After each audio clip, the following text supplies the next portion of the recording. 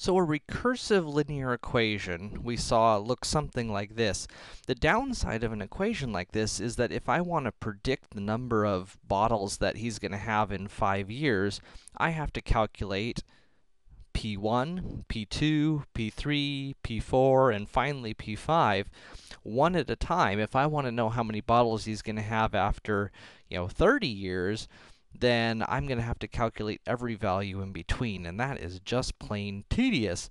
And so we don't really like to do that. And so let's see if we can come up with a better way to do this. So we're going to try to come up with an explicit equation. An explicit equation will give me Pn the number of bottles he'll have after n years, just in terms of the number of years.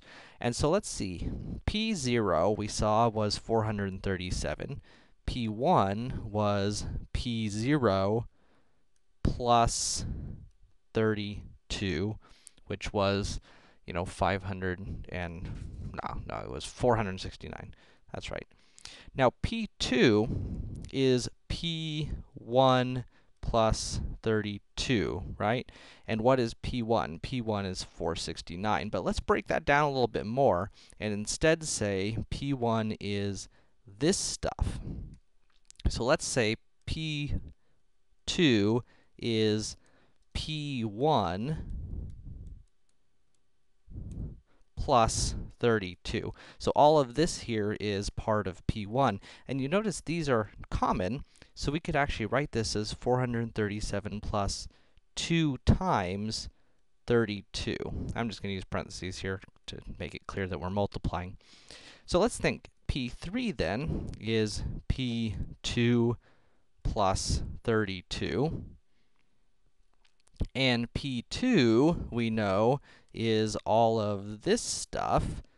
So let's go ahead and replace P2 with that stuff. So P2 is 437 plus 2 times 32.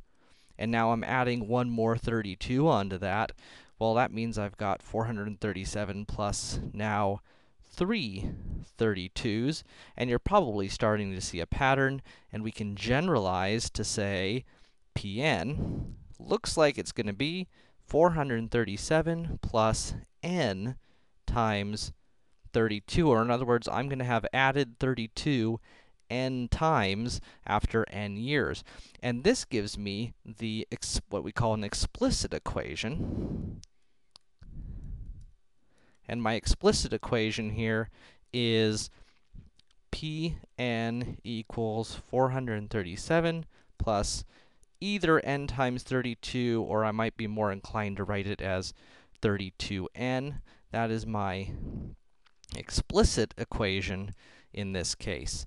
Now, in general, ex the explicit equation is going to, so let's get rid of all this.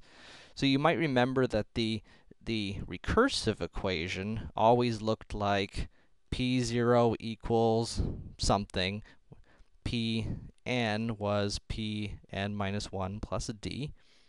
That was our recursive equation. Our explicit equation, then, is always going to look like pn equals, well, let's see. The 437 was the initial value, so P0 plus, and what was this? This was the common difference, that was the D, and this is the number of years. So P0 plus D times N.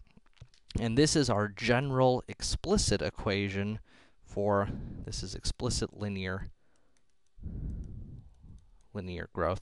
And this explicit linear equation, this explicit linear equation, is going to allow us to much more easily solve questions like this.